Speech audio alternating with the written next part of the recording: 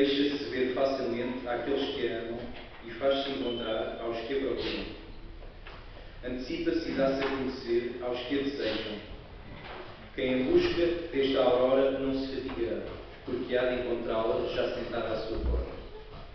Meditar sobre ela é prudência consumada, e quem consagra as vigílias depressa ficará sem cuidados. Procura por toda a parte os que são dignos dela, caminhos, cheia de benevolência, e vem ao seu encontro todos os seus pensamentos. Palavra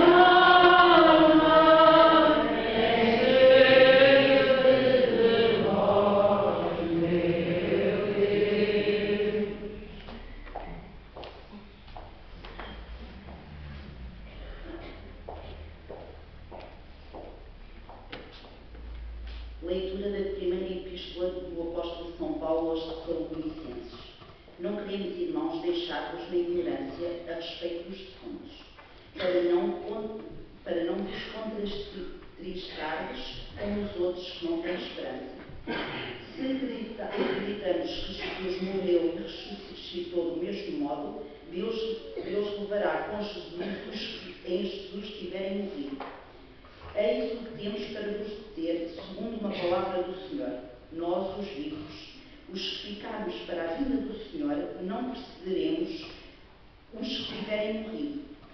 Ao sinal dado à voz do arcanjo e ao som da trombeta divina, o próprio Senhor descerá do céu. E os mortos em Cristo ressuscitarão primeiro.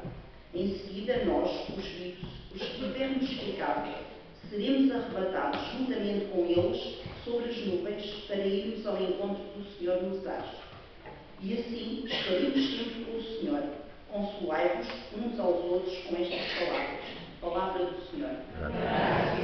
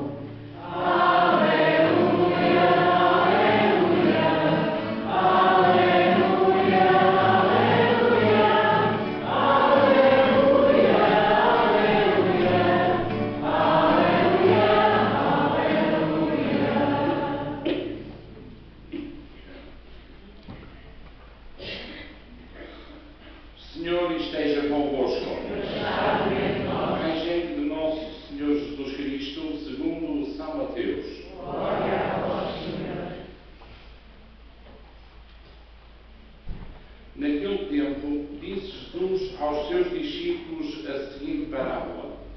O reino dos céus pode comparar-se a dez virgens que, tomando as suas lâmpadas, foram ao encontro do esposo. Cinco eram insensatas e cinco eram prudentes. As insensatas, ao tomarem as suas lâmpadas, não levaram azeite consigo, enquanto as prudentes, com as lâmpadas, levaram azeite nas almotorias. Como o esposo se demorava, Começaram todas a dormitar e a adormecer. No meio da noite ouviu-se sombra. Aí vem o esposo, indo ao seu encontro. Então as virgens levantaram-se todas e começaram a preparar as lâmpadas. As insensatas disseram às prudentes: Dai-nos o vosso azeite, que as nossas lâmpadas estão a apagar-se.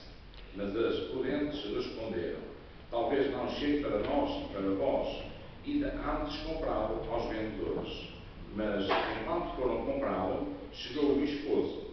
As que estavam preparadas entraram com ele para o banquete nupcial e a porta fechou-se. Mais tarde chegaram também as outras viagens e disseram: Senhor, Senhor, abre-nos a porta.